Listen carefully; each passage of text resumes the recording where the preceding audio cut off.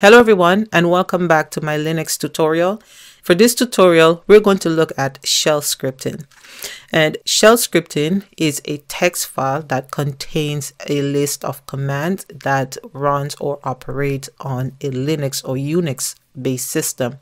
So for this tutorial, I'm going to use the terminal that comes inside of my Mac. If you are on Windows, you can download a program like PuTTY to run Linux command. So to create a script inside of your Linux system, I'm going to use the touch command and the name of the script. So for this tutorial, I'm going to name my script hello.sh and the .sh is very important when you are creating a script. SH is a type of shell. There are many other shells you can use. For example, you can use bash shell. You can also use CSH shell and CSH shell is for C shells. You can also use ZSH shell and also KSH shell and the KSH shell is for Korn shell.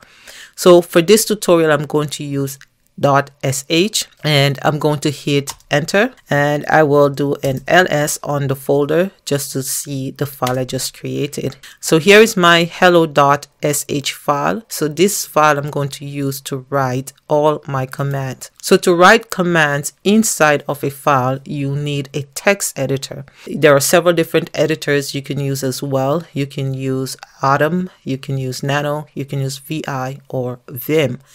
So for this tutorial, I'm going to use the VI text editor to write my command. And to open up the VI text editor in terminal, you use VI and the name of your text file. So my text file name is hello.sh. And now I get the VI text editor to write my command. Now, when you're inside of the VI text editor, you have to press lowercase i to write your command. Now, if I just start writing on the keyboard, you would hear a bunch of noise, which indicates that I need to hit the letter I to insert command inside of the file. So I'm going to test it. Escape here, WQ. And now I'm going to run the VI code again. So VI, hello dot sh and I'm going to hit enter.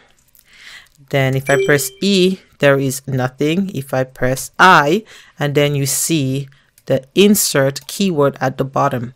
So once you see the insert keyword at the bottom then you know you are ready to write or input text inside of your text editor. When you are inside of your text editor, the first line that should be inside of any text editor is a line called the shebang. And the shebang tells the system which command processor should run the script.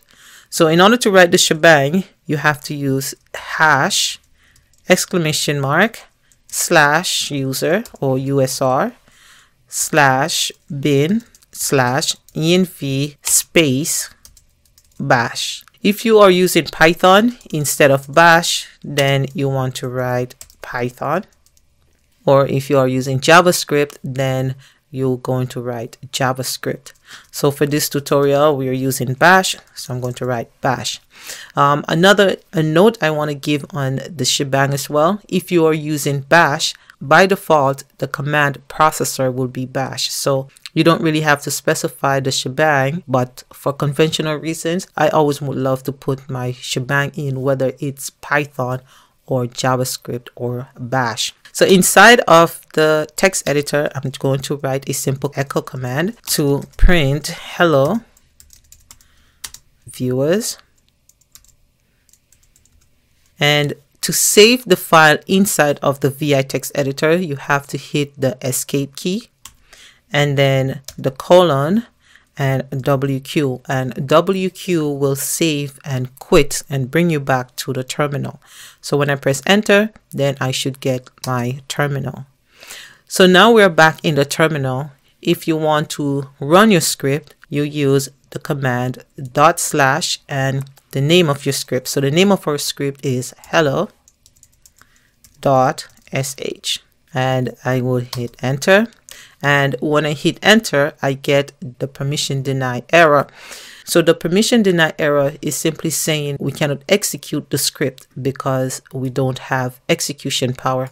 And to prove that to you, I will use the ls dash al command. So if we look at the last one where we created the script, we can see that only the owner have read and write power. So I created the script so I can read and write in the script, but I do not have execution power.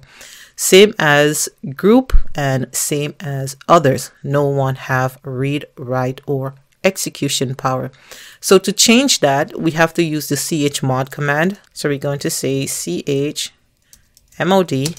and I want to use the number 755 and 755 will give me which is the owner read write and execute power but it would give everyone else read and execute power.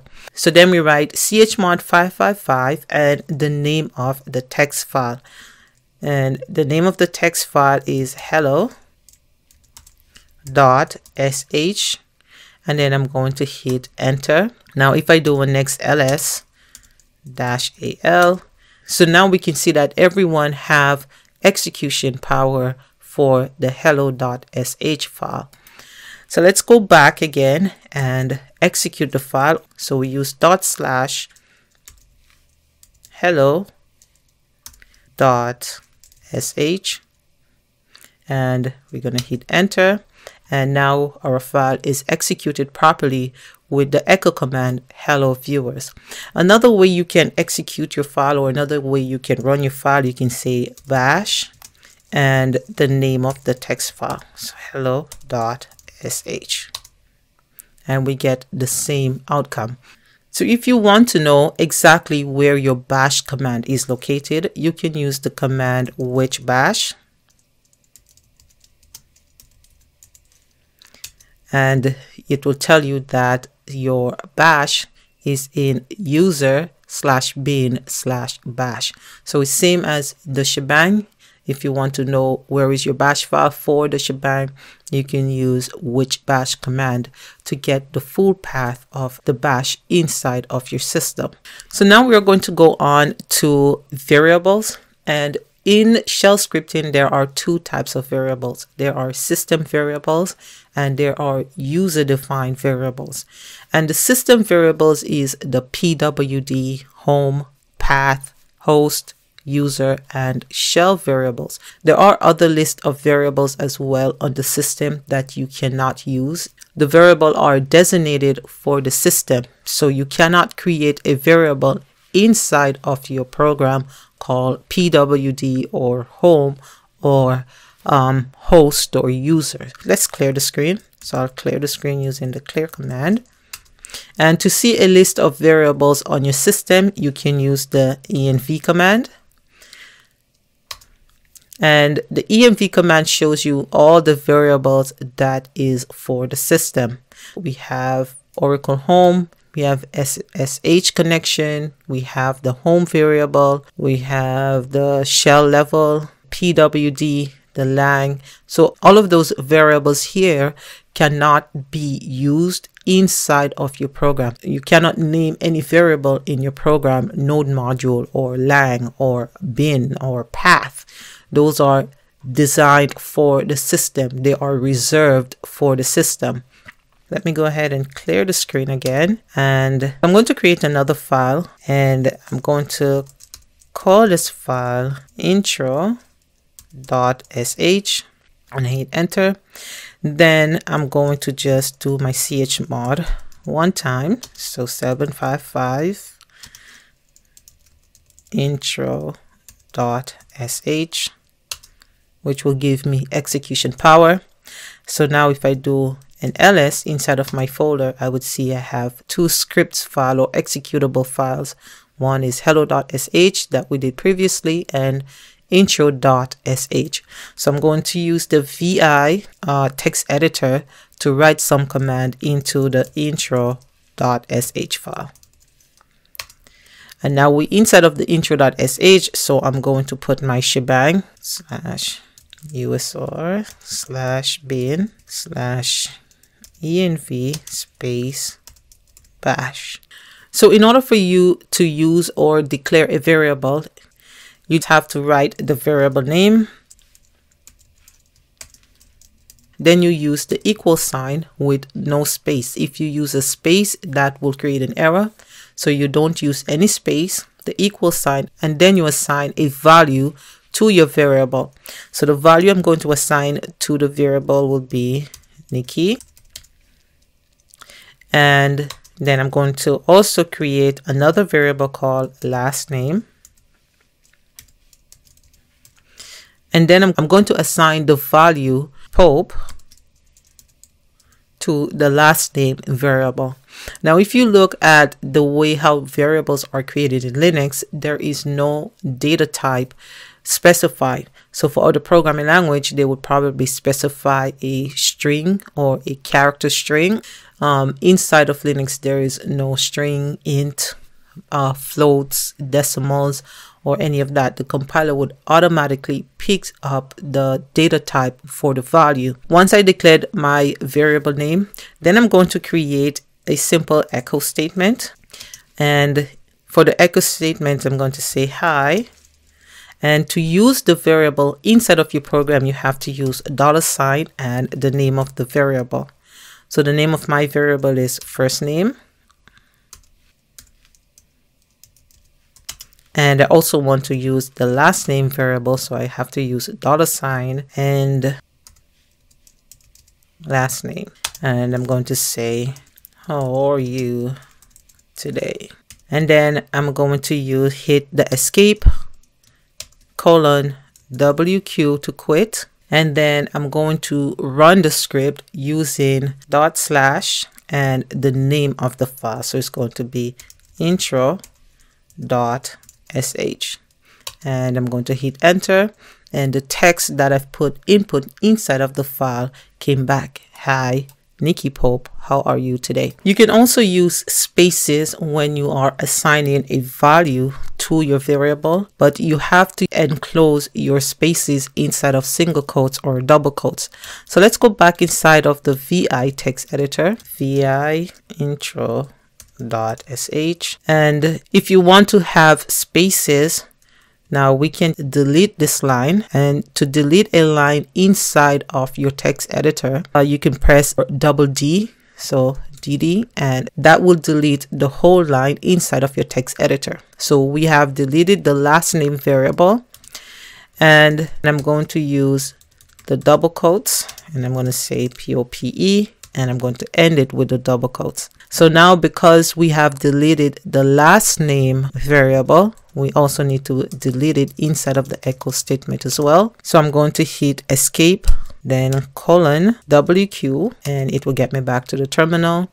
So now I'm going to rerun the script. And here I have, hi, Nikki Pope, how are you today? You can also pass variables to parameter. Let's go back inside of the file using the vi command. So let's delete this line of code using dd and we're going to hit i to insert.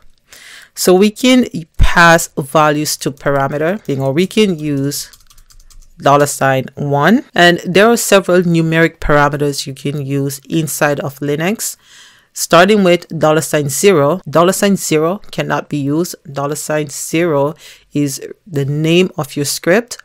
However, you can use dollar sign one, two, three, all the way up to 255. However, when you reach double digits like 10, 11, 12 and up, you have to enclose the double digits inside of curly braces. Inside of the echo statement, I'm going to use dollar sign one. I'm going to hit escape colon WQ to save. And then I'm going to run the script again. I'm going to say Nikki and hit enter.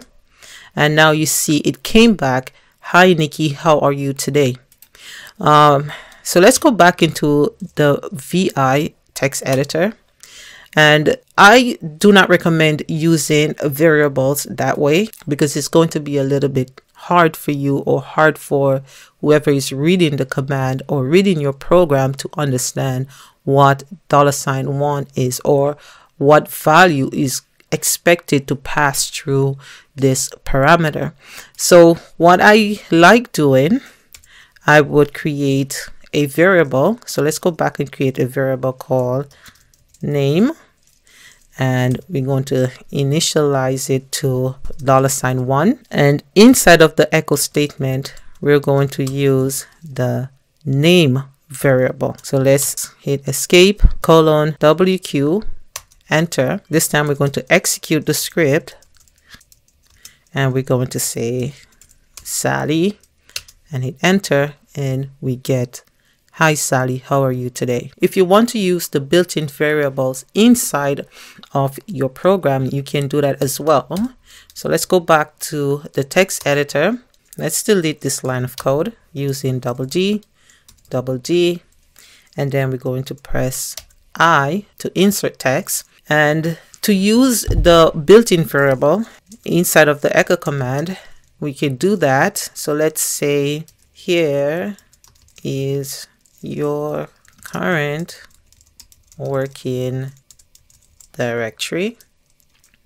And then to use the built-in variables, you have to use dollar sign, then open curly brackets and closing curly brackets. And inside of the open and closing curly brackets, then you specify which command you want to use or which variables you want to use.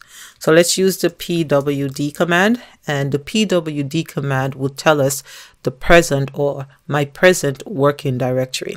So let's hit escape colon wq to save return to the terminal. So let us run the script again using dot slash intro dot sh hit enter and you would see my current working directory is slash home slash and pop1 slash tutorial. Now if I come here and I run the pwd command and I get the same path that has specified with my program. So you can use the shift command to shift the position of your parameter. So let's say, for example, let us set some values. Let's say set uh, A, B, and C, and press enter. So we have A, B, and C set. So let's do echo uh, dollar sign one, and echo dollar sign one will print A. A is going to be dollar sign one. B is going to be dollar sign two, and C is going to be dollar sign three. So let's do echo dollar sign 2 and we will get B and let's also do the last one as well. The shift command shifted the positional parameter so it shift B to where A was.